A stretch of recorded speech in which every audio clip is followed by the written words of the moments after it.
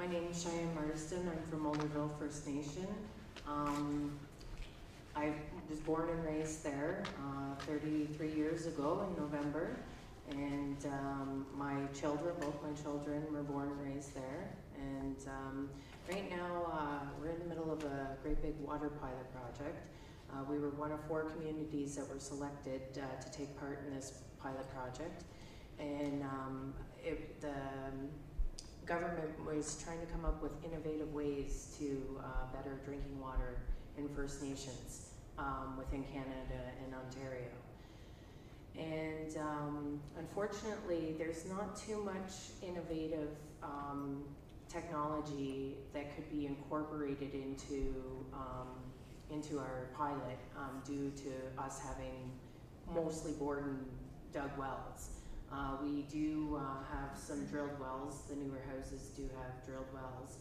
But uh, with the dug and bored wells, we're finding um, anything from contamination from animals to E. coli to, um, um, like Shirley was saying, you know, people throwing stuff down their wells um, when they've gone dry. Um, we've seen a lot of that. Um, also, with the bored and dug wells out on our reserve, there are quite a few of them.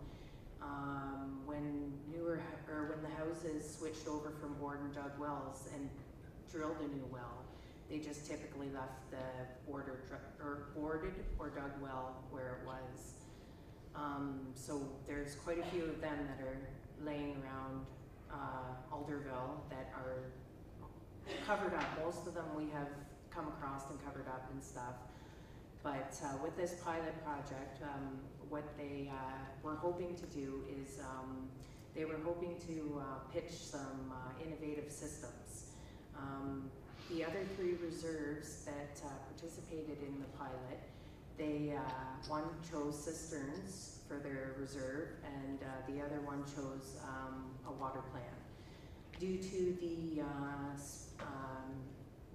the area that we're in, we are so spaced out that um, a plant was just not feasible. That would have meant that possibly maybe not even a quarter of our reserve would have been would have been supplied by this plant, um, which would have left the other 75% um, with whatever drinking water they had.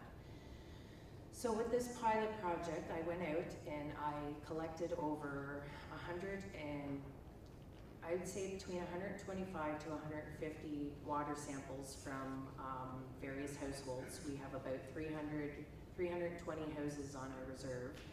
Um, and like I said, I've collected about 125 to 150 water samples and sent them off to various labs and stuff, um, right down to chemical samples to find out if there's any uh, contaminants in the water. Um, unfortunately, the only thing that we have um, in our water due to the uh, farming fields is E. coli, mostly just in our bored and dug wells. Um, we do have about 30 houses that um, are right within um, a walk to Rice Lake. Now they don't draw their water source from the, the lake because um, in the summer time when we have our regatta, unfortunately, um, within the last couple of years, uh, the lake has become very stagnant and very dead. There is no life left in, in our lake at all.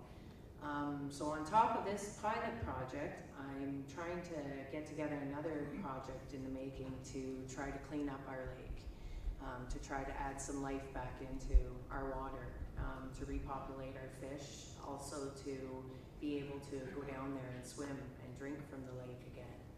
Um, when I was a little girl, we wouldn't even think twice about running and jumping in the lake and swimming and dunking our heads under or bathing or just anything. And nowadays, um, last year my son unfortunately fell off the dock and um, it was all he could do to just scramble out of the lake. He was just appalled by the weeds and the algae and the scum. Um, he sank to about where he fell in. It wasn't very deep, but because of the dead organics that are on the bottom of the lake, he sunk to about uh, roughly up to his chest. I literally had to grab him and pull him up before he went under. And like I said, that's typically not what we're used to. We're used to, you know, it being the sand and stuff. And So it, unfortunately, it has gotten worse over the years. Um, so like I said, after I tackle this pilot project, uh, for the drinking water, my next, uh, big project will be to hopefully get a system put into, uh, Rice Lake for our little area there. So, and yes, and like, uh, Jane had said, I do have another meeting I do have to go to. Um, I'm sorry to have to, uh, leave during the presentation, but, um, it's been an honor sitting on this committee. It has truly been an honor. Um, I've always been drawn to water, ever since I was a little girl. Um, when I find myself stressed, um, or a bad day, I look to the water. I, I can go and sit by a river, go sit by a lake, and just feel at peace and just reconnect. Um, just be able to take that time to just um, sit and think about different things and um, come to a, um, a realization that, um, you know, like all the elders have said, that uh, the water is the most important thing that we have right now. And um, no matter what we do, um, it could be as little as uh, just picking up garbage along the shoreline, just around your own home and stuff. But every little bit helps. And the most important thing are the generations to come, my children, their children, their children's children. Um, it is very important that they have the water to look to in the future, um, and that they don't have to fight to um, protect the water, or that they don't have to worry about the water going and disappearing, and the fact that they would have to pay for water and stuff.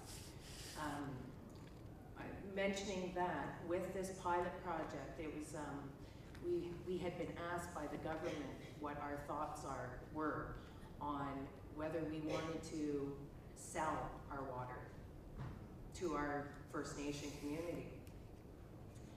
And, um, there's three project team leaders, um, two main, main ones, I myself am a third one, only if one of the two main ones couldn't be a part. And immediately I said no.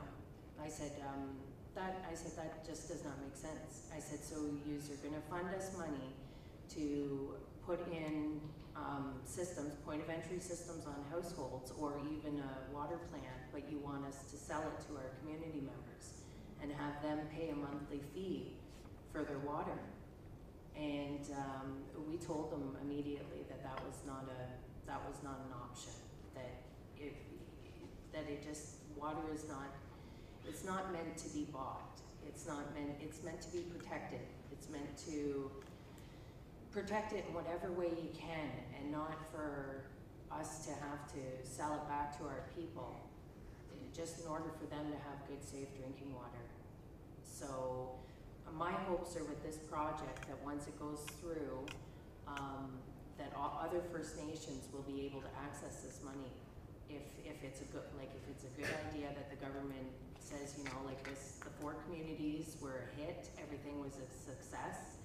Um, it's a good opportunity for other First Nations to be able to access, if at all possible, they can access the money. Um, even just to better some of the wells, um, or even, um, to put in a, a plant of some sort, but just so that, um, they don't have to worry about turning on their drinking water and having a fear that there is E. coli in there or some other kind of contamination through mercury or metals or anything. Um, it's just very important to me as well as my community, um, because every one of those community members I'd asked, even though they had a drilled well and their water results had never come back negative, um, the first words out of their mouth is, I don't drink my tap water. And uh, I go to Nor- Harwood, which is about 15 minutes away from us, and there's a natural spring there where a lot of our community members go to collect their water. Now, unfortunately, with that, you have the seniors who can't always get out to the to the location, or they don't have a vehicle and stuff. But um, with this project, my hopes are that you know our community members won't say, "Oh, I don't need to go to Harwood anymore. I can just turn on my tap water and drink the water right from my tap and be satisfied and content with that." And that to me would be just amazing, you know, that our community members would feel safe enough and um, just uh, safe enough to be able to drink the water and trust that their water is good. Um, that is the most important thing.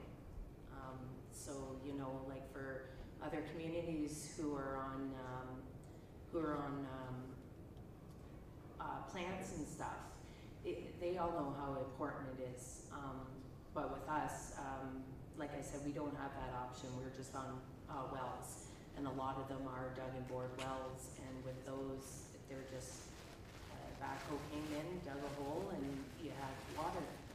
So they're they are very easily able to be contaminated and stuff. So with this project, it is a good opportunity for our First Nation, and I'm very hopeful that other First Nations um, can benefit from it um, very soon. So I want to say to Miigwech for letting me take this opportunity to speak to you. And um, everything that I learned um, last year as well as this weekend, I definitely take back to my people. And I definitely share the stories and the wisdom that I hear from all the elders because the elders are the ones who we have to take what they say and we have to listen to it in our hearts because they truly do know what they are talking about. As you can hear from the stories that they tell, their parents were right on certain things, you know, and it's come full circle. And so I'm hoping that, you know, everything can come full circle and everything will work out in the end.